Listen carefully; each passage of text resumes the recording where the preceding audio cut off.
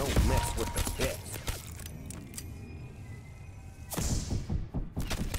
Got a question? I got a clip full of answers.